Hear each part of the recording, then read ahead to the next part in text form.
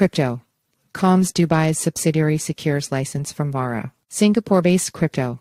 Comms subsidiary has secured a virtual asset service provider VASP license from Dubai's regulator for specified crypto service activities. CRO DAX Middle East, the exchange's Dubai arm, received the license from Dubai's Virtual Assets Regulatory Authority VARA on Tuesday. The license is subject to the firm, fully satisfying select conditions and localization requirements set by VARA, the company said. Further, the company will be able to commence operations subject to operational approval notice from the regulator. Kris Marszalek, CEO of Crypto.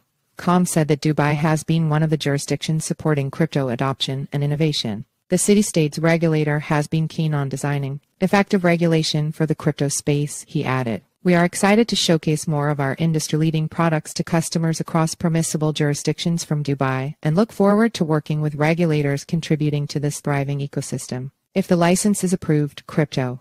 Com will be able to offer a slew of services including exchange, broker-dealer, and lending slash borrowing. In March 2022, Crypto. Com announced Dubai as its regional hub for the Middle East and North Africa region. The news follows a week after VARA announced a new deadline for crypto-related businesses to clear licensing papers. The Gulf City State's crypto regulator said that companies have until November 17 to submit their licensing applications or miss notifications. Is Dubai becoming a global crypto hub? The United Arab Emirates has established itself as a crypto-friendly jurisdiction over the past months, given its regulatory architecture. In 2022, Dubai embraced a new regulatory framework to establish it as a global hub for cryptocurrency and blockchain activities. The framework aims to provide clarity and security for digital asset issuers and service providers, gaining support from industry players. Since then, several crypto businesses have migrated to the Emirate nation due to its low tax and business-friendly regulatory landscape, especially at a time when the U.S. regulators have taken a tough stance against crypto firms. Crypto exchange Bybit announced the moving of its headquarters from Singapore to Dubai March. Following this, Binance, the largest crypto exchange in the world, acquired its license to operate its regional business in Dubai.